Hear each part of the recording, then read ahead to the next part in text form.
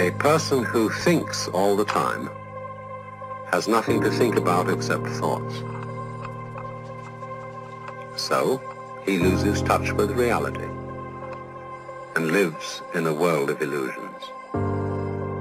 By thoughts, I mean specifically chatter in the skull, perpetual and compulsive repetition of words, of reckoning and calculating. I'm not saying that thinking is bad. Like everything else, is useful in moderation. A good servant, but a bad master.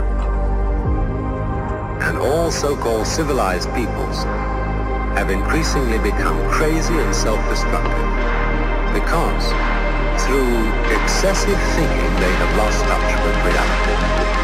That's to say, we confuse science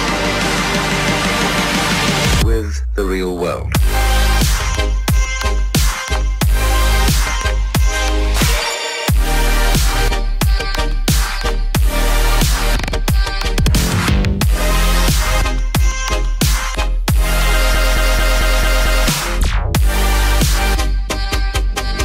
This is the beginning of meditation.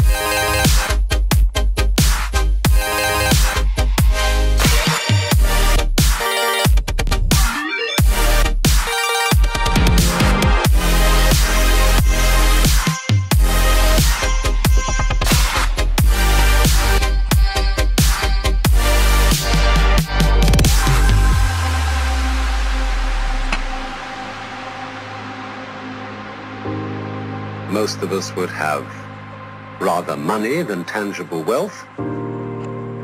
And a great occasion is somehow spoiled for us unless photographed.